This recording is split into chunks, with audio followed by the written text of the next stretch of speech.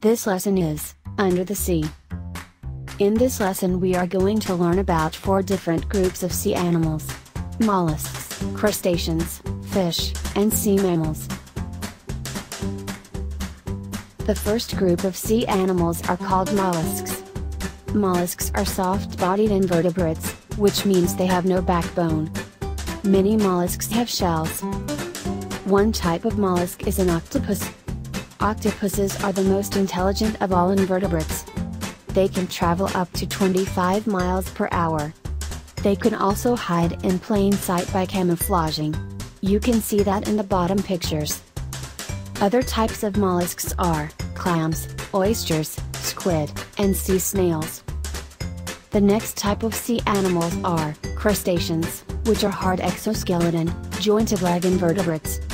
Their heads have two compound eyes, two pairs of antennae, and three pairs of mouth parts.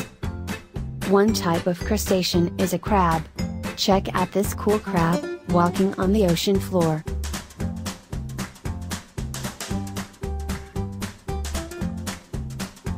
Crabs walk and swim sideways, like we saw in the video.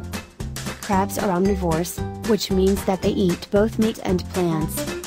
Crabs are all different sizes. The pictures show one of the biggest crabs and one of the smallest crabs. Some other types of crustaceans are lobsters, shrimp, and crayfish. The next type of sea animals are fish. Fish are vertebrates, which means that they do have a backbone. They live in water, breathe through gills, and are cold-blooded. A shark is a type of fish, see him swimming?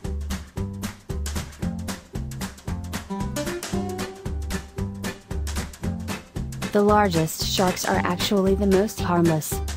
A shark has excellent hearing. And can hear a fish in the water more than 800 feet away. Sharks never run out of teeth, they have between 5 and 15 rows of teeth that can replace the teeth that they lose.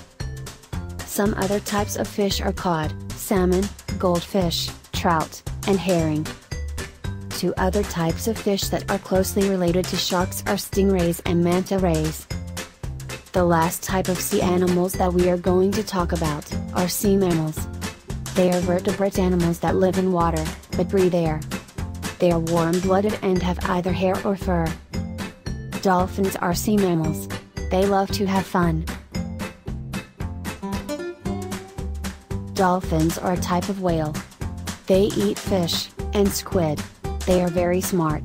They can be trained to do tricks, like we are seeing in the videos below.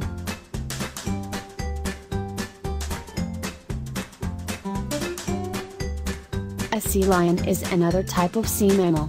Like dolphins, they like to have fun and do tricks.